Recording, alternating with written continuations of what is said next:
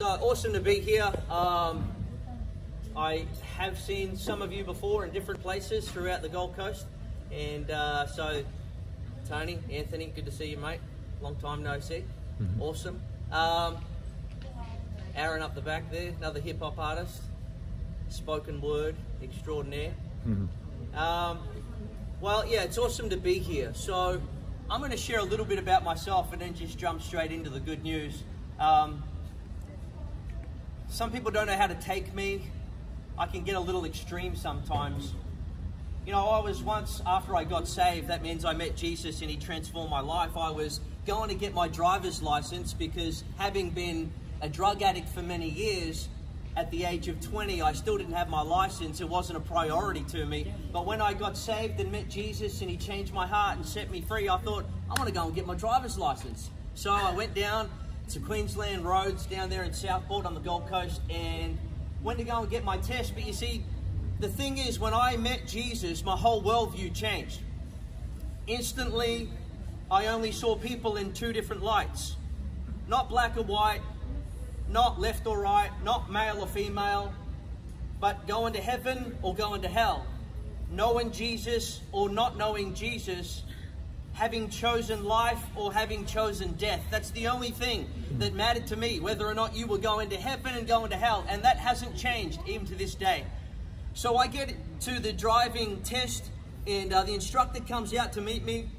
And you know, I'm used to driving in the passenger side, so I just walk straight around to the passenger side, and I'm about to get in. He's looking at me like, "What the heck are you doing? You're driving today?" And I was like, "Oh yeah, that's right." So I go back around to the driver's side, open up, get in, putting on my seatbelt. He goes to me, "Where's the hazard lights?" And I'm thinking to myself, "You're the driving instructor, and you don't know where the hazard lights are." then it dawned on me, he's just making sure I know where they are. So I'm like, "Oh yeah, right there. You know the the little red triangle button." And so, turn the engine on, looking in the revision mirror, backing out. I turned to him and I said to him, Do you believe in Jesus? And he just looked at me like a stunned mullet because he's thinking in his mind, I'm anticipating that we're going to crash and he's going to meet the Lord. so he's just looking at me like, What do you mean? Do I believe in Jesus? And then I realized what's happening there. So I said to him, Oh, oh, no, no, no. Like, what I mean is, I'm a Christian. I've only just become a Christian and I want to know if you believe in Jesus. And he said, Well, I've got a Bible on my desk at work, got a Bible in the glove box, and got a Bible on the shelf at home, if that answers the question. And I just remember looking at him thinking, Well, I don't think that does answer the question because you can go to church and not be saved. You can go to church and not go to heaven when you die. Because you know what? Going to church doesn't make you a Christian any more than going to McDonald's makes you a cheeseburger. See, it's not about whether or not you attend a Sunday service, it's about whether or not Jesus has set you free on the inside and whether or not you've been born again by the Holy Spirit.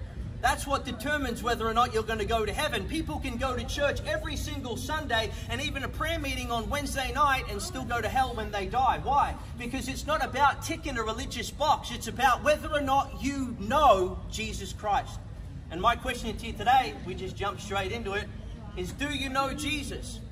I wasn't raised in a Christian home, had no Christian upbringing whatsoever. I was raised in an atheistic, drug fueled, domestic violence situation.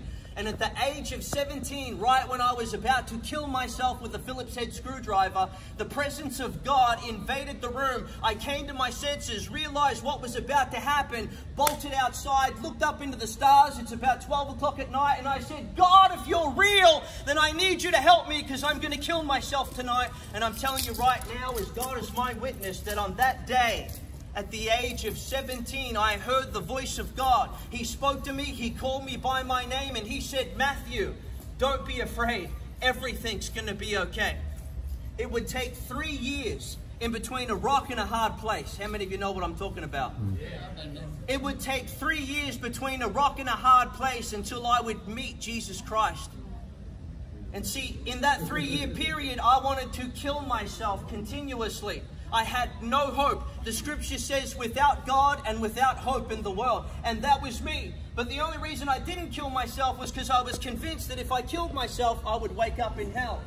And it was like a universal truth was pressed upon my conscience. So here on the one hand, I don't want to live anymore. And then on the other hand, I know I can't kill myself because I'll go to hell. That's between a rock and a hard place. Drug addiction spiraled out of control. Alcoholism got worse and worse. I'm trying to fill a void that I didn't realize that God was the only one that could fill.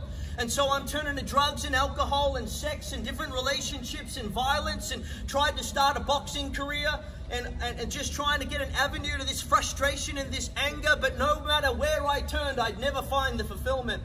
And I'm hanging on to this hope that at the age of 17, when I was about to take my life with a Phillips head screwdriver, God spoke to me and promised me that somehow, some way, everything would be okay.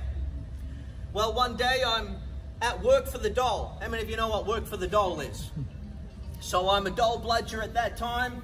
Ain't no way I'm going to look for work when they're paying me enough money to live off. And so they made me go to work in order to get my dole check at the end of the fortnight. I had to go to a feeding, uh, sorry, a, a, program where they were uh, fixing bikes and toys for disabled children. So I begrudgingly get myself up, drag myself in there, and uh, I come to work for the Dole one day and I meet this Torres Strait Islander. Uh, at the time, I didn't have dreadlocks, he did. He was probably the first person I ever met with dreadlocks. So straight away, he's looking pretty radical to me. And he pulls out his guitar at lunchtime and starts worshiping Jesus in front of all of us people who just did not want to hear it. But he doesn't care. He's a wild evangelist. He doesn't care what people think. He didn't care what I thought about him. All he was concerned about was whether or not someone had the opportunity to hear the good news of Jesus. So he's worshiping Jesus. He put his guitar aside and began to share the gospel with us. And I just thought, this is the weirdest person I've ever met in my whole life. This guy is a full blown tripper. How many of you know what I'm talking about? So I'm thinking you're a tripper, but we related on this one little level. He's a hip hop artist. I'm a hip hop artist. He's rapping about Jesus. I'm rapping about the things of the world. And so we're in this little battle between light and darkness every lunch break. And uh, after he had rapped about Jesus, I looked at him and I said, You know what? I believe in God. And him being the fiery evangelist that he is, jumps at the opportunity, said, Awesome, you and me at lunchtime, we're going to go down to the park and you're going to give your life to Jesus. I just remember looking at him thinking, What the heck does that mean? We're going to go down to a park and I'm going to give my life to Jesus. See, you got to understand, he was sharing his testimony with me about how he spent six years in prison for beating police officers. So when he says we're going down to a park and I'm going to give my life to Jesus, I mean, what's he going to do? Pull out a knife and sacrifice me to his invisible God? I didn't know what was going on. I'm kidding. There was a piece inside of me that thought, okay, let's give this a fair crack. So we go down to the park at lunchtime opposite uh, Centrelink right there in Nerang on the Gold Coast. Praise God for Centrelink. So we're, we're there outside Centrelink on a park bench and he leads me in the sinner's prayer. So I pray this prayer after him verbatim, word for word, and for the first time in my life I called on the name of Jesus. To be honest with you, wham bam, thank you man, said the amen, and nothing happened. For the next nine days, life spiraled out of control. Clubbing, drinking, partying, drugs, sex, Nothing changed. Until one Saturday, Sunday morning, I woke up, shocking hangover, hadn't had a shower in three days, strung out, and I'm thinking to myself, I'm rock bottom. I need, I need to go to church today. So I pull myself together and uh, go to church that day. And as I rock up, I'm expecting stained glass windows with a man in a black cape with a white collar, candles, and hymns with a beautiful choir That's kind of what I'm, I'm expecting. And to be honest with you, I don't care what it looks like because I know I need God. So I rock into this church. It's in a Rotary Youth Center and a basketball hall. Chairs are set up, stage at the front, electric guitars, and here's this Torres Strait Islander spinning on his back doing windmills on the altar. And I just remember walking in there, looking around, everyone's jumping up and down, big smiles on their face, and I thought, oh my goodness, he's not the only tripper. This whole place is full of trippers. And I'm just looking at them thinking, what is going on? It's like it's like they it's like they'd taken ecstasy and yet they hadn't taken ecstasy. They're on a club without drugs on a Sunday morning worshiping a God they can't see. So anyway, this lady, Janine, walks up, big smile on her face, shakes my hand, smile way too big for the context. But anyway, she's got a joy unspeakable, which I didn't know about at the time. She shows me to my seat. I sit down at the seat. Pastor preaches a message, gives an altar call, and an altar call is an opportunity for people to respond to the gospel, to say yes to Jesus Christ. Long story short, that day in that church, I had an encounter with God that radically set me free, totally transformed my life. Jesus said, If the Son of God makes you free, you will be free indeed. In other words, it's not about praying a simple little prayer and still living like the devil and expecting that the gates of heaven will be open to you in that last day. If there is not a transformation inside here, then there is not a place for you up there. Let me tell you that and make it very clear. Jesus didn't just come to slap a new label on you, He came to radically transform your heart and Yeah. powerfully set you free. Come on. That's what Yeah. it means to be born again That's good. Come on. Totally changed. Now, that doesn't mean sinless perfection, but it means that your heart has been set free and you're no longer a slave to sin, no longer desiring to get up every day and work for the devil, but there's a change in your heart where you say, God, because of your love for me, I want to walk in you, I want to live for you, I want to live my life to glorify your name. The shackles have been broken. Amen. You know the song. Take the shackles on my feet so I can dance. I just want to praise you. You know it. Come on. My chains have been broken and my and my life's been radically set free. You know, when I got saved, I looked at people in a different light. You're either going to heaven or you're going to hell. You either know Jesus or you don't. And I don't mean you go to church on a Sunday and, and pray a simple little prayer. I mean, do you know Jesus or don't you know Jesus? Because it's about knowing him and whether or not he knows you. Jesus was a very accurate prophet, and everything he said has and will come to pass. And Jesus said this concerning prophecy, which will come true. He said, Not everyone who says to me, Lord, Lord, will enter the kingdom, but only those who do the will of my Father who is in heaven. In other words, not just those who say they're a Christian, but those whose hearts have been transformed by grace and walk as Christians. Walk in the will of God. Does that mean that we might stumble and fall at times? Absolutely. And yet the Apostle John writes in his letter to the church, he says, Dear children, I write these things so that you may not sin. The emphasis is that you may not sin. Nevertheless, if we do sin, we have an advocate with the Father, Jesus Christ the righteous, who forgives us. And what does the scripture say? That if we confess our sins to God, He is faithful and just to forgive us and to cleanse us from all unrighteousness. That means that the Christian life is not sin, repent, sin, repent, sin, repent. No, because if I confess, he cleanses me from all unrighteousness and radically sets me free. Therefore, the Christian life is sin, repent, walk in victory in the power of Jesus who he has set free because that's what it means to know God, to walk in the power of his spirit and to look different to the world. So I want to say to you today, friends, do you know Jesus? And I'm pleading with you today because this is life and death, heaven and hell. I was looking at the world death toll statistics last night on a website, and you can see faster than the seconds go by, people dying. One, two, three, four, five, six, seven, eight, nine, ten. And I'm telling you, this isn't my opinion. This is what Jesus said. Jesus said, I am the way, I am the truth, I am the life, and no one comes to the Father except through me. The Bible says, He who has the Son of God has life, but he who does not have the Son of God will never see life, but the wrath of God remains on that person. And my question to you is Do you have Jesus? Does Jesus have you?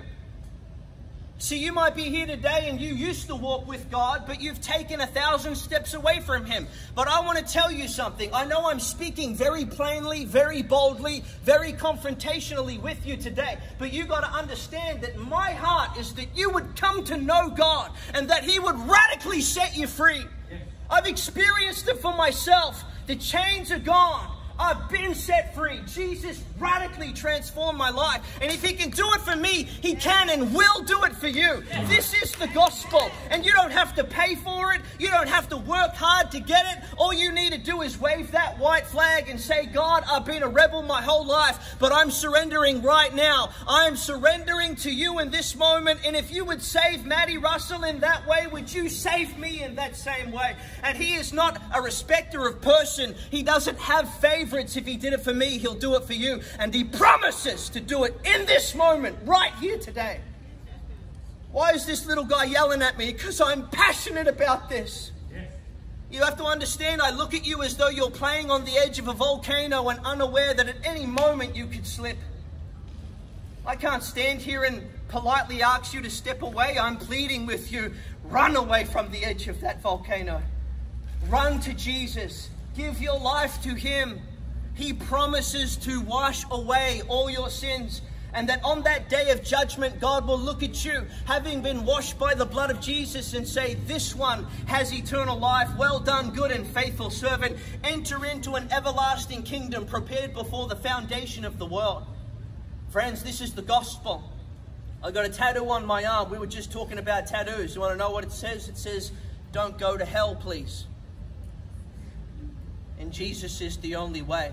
You see, He died the death that we deserve to pay the price we couldn't pay to bring us back to God. That's what love looks like. And God loves you this much. Amen. That's how much He loves you. That's how much I'm pleading with you today that you would give your life to Jesus. I don't want you to go to hell and the world's on its way to hell in a handbasket and Jesus has done everything. On the third day, God raised him from the dead. Jesus ascended into heaven, sat down at the right hand of the throne of God. And the Bible says that because he did that, he is able to save completely every single person who comes to God through faith in him because he lives forever to bring God and man together in himself. Now is the day of salvation. Not tomorrow, not when you walk out. You're not promised another second. The only reason you're still alive, able to hear this message right now, is because of the grace of God. At any moment, your life could be taken and you could wake up in hell. But I'm reaching out to you as though God Himself were in me, imploring you, be reconciled to God. Come back to your Heavenly Father. Be reconciled to God. And what do you need to do? Two things repent which means change your mind about the way you've been living and realize that Jesus is the only way. Repent and believe in the gospel. Today I've shared the gospel with you, and the Bible says that you are justified, made right before God through faith in Jesus Christ. And making a decision today to say yes to God, to say, Jesus, by your grace, I'm deciding today to follow you then God promises that today you will be saved. This is what I'm going to do right now. I'm going to ask everyone to close their eyes. Friends, I know as I've been preaching and looking around that I can see God moving in many of your hearts, many of you crying, many of you can feel the call of God, the pull of God. When I sat in that church that Sunday morning and the minister made an altar call, an opportunity to respond to the gospel and to receive Jesus, in my head, I was saying, I don't want to become one of these people, but in my heart, I was saying, this is why I was born. And it was as though God's love had lassoed my heart and was pulling me to the foot of the cross to surrender my life to Christ. And friends, as every eye is closed, I know that God, in His love, is lassoing many of your hearts and pulling you to Jesus. Who knows when this opportunity will come again? Who knows when God will pull you and draw you again? Jesus said, No one can come to me unless the Father who sent me draws them. And if you can feel the Spirit of God drawing you, then I am going to ask you in a moment to stick up your hand if you are saying yes to Jesus. And by saying yes, you are making a decision that by God's power today, you will walk after Jesus and follow him and become a Christian. I don't want you to delay. I'm going to count to three. And as soon as I get to three, if you want to say yes in your heart to follow Christ, then in the count of three, as soon as you hear the number three, I want you to lift up your hand. Don't worry about what other people think. This is between you and God, and God is watching you and calling you in this moment, even as He called me by my name. So God calls you by your name in this place today. Will you say yes to Christ in the count of three? If that's you, I want you to put your hand up. One, two, Three. Hands are going up all over this place. I want you to put it up high and say yes to Jesus. One, two, three, four, five, six hands, seven hands, eight hands, nine hands, ten hands. Father, we thank you in this moment, Lord, that you have seen these hands, and more importantly, you have seen their hearts to say yes to the cross, to say yes to your salvation, in turning away from sin to call upon your name. And Lord, I pray that even as you radically set me free 15 years ago, that you would set them free in this place today, that they would have a joy and a hope knowing their sins have been washed away, and that today they stand right before God because of the sacrifice of Jesus Christ. And I want to just lead you in a prayer really quickly. Those of you who have put up your hand to say yes to Jesus. In fact, I want us all to pray this together. The Bible makes it clear that whoever calls on the name of the Lord will be saved. And I want to lead you in a prayer. Friends, it's not the prayer that saves you. It's your heart to follow Christ and believe in his gospel that sets you free. But I do want to lead you in a prayer to call upon his name. So if you would all pray with me. Say, Dear Jesus. Dear Jesus. There's power in that name. Say it again. Dear Jesus. Dear Jesus. I cry out to you. I cry out to you. I believe. I believe. That you died for my sins. Died for my sins. That you were raised from the dead. You were raised from the dead. And that I am saved. And that I am saved. Through faith in you. Through faith in you. By your grace. By your grace. I choose to follow you. Choose to follow you. To live for you. To live for you. From this day forward. From this day forward. I pray that you would set me free. Pray that you would set me free. From every addiction. From every addiction. From despair. From despair. From my sins. From my sins. And give me the grace. And give me the grace. To live wholeheartedly for you. To live wholeheartedly for you. In Jesus' name. In Jesus' name. Let's give the Lord a shout of praise. Amen. Amen. Praise God.